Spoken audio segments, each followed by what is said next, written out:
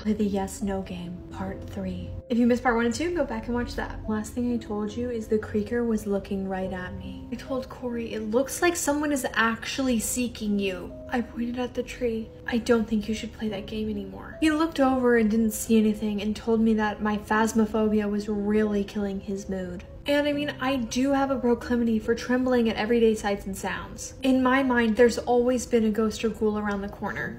Ever since my parents passed, I had been that way. But I knew I had saw that thing behind the tree. But since I have phasmophobia, it makes it very difficult for people to believe me when I think I see or hear something. My friends told me to go home and just get some rest.